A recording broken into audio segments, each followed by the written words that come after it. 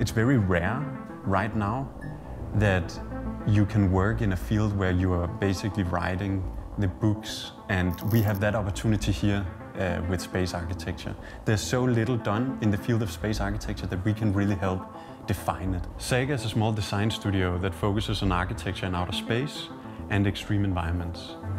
Our most ambitious project to date was uh, a project we finished last year, which was a simulated moon habitat that we tested for 100 days in the Arctic, where me and my co-founder, we lived inside the habitat on four and a half square meters, while outside there was minus 41 degrees Celsius and storms with hurricane winds. We were safe and comfortable inside our little moon habitat. I think when I was a kid, I was a daydreamer. I would often sit in class and dream about exploration, exploring outer space, exploring the deep seas in a submarine. Um, I was always fascinated about this kind of exploration. I think the chances of making projects for outer space and extreme environments and for the Arctic, the chances of that happening is so small and we worked so hard to make it happen that I think that uh, young Sebastian would be proud and that, that makes me happy. We have never designed a square object. There's a lot of square houses around the world. Uh, I guess most, most houses in the world are actually square. Um, but we, we have never made a square building, and that's not because we don't want to make a square building, that's because when we start a project, we don't know what it's going to look like in the end. Through the design process, we always think about the people using it and the climate around it. And then it just happens that it's very rarely the best way to make a square building. It's very often the cheapest to make a square building. Um, and if that's the motivation, then it really makes sense to make a square house.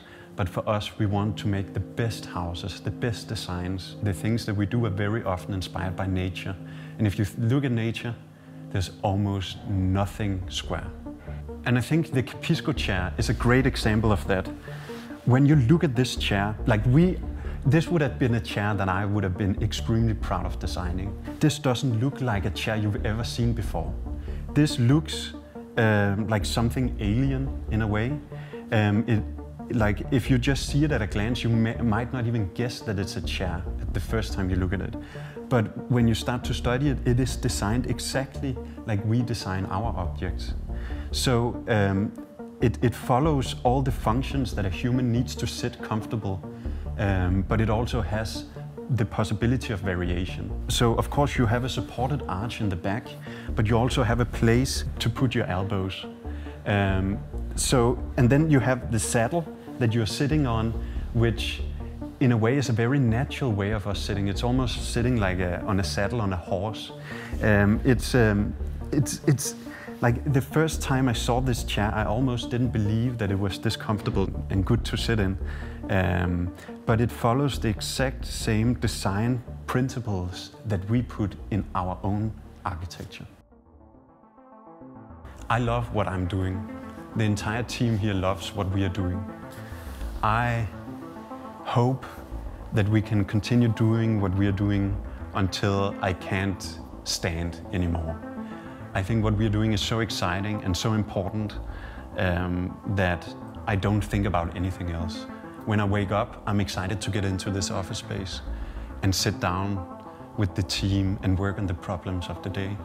Um, and when I go home and eat dinner uh, late at night, I'm still thinking about what we are going to do tomorrow. And this has been going on for four years, and I'm still as passionate, if not more passionate, about what we are doing now. And that makes me extremely happy. And that's probably the only reason why we can work as much as we do.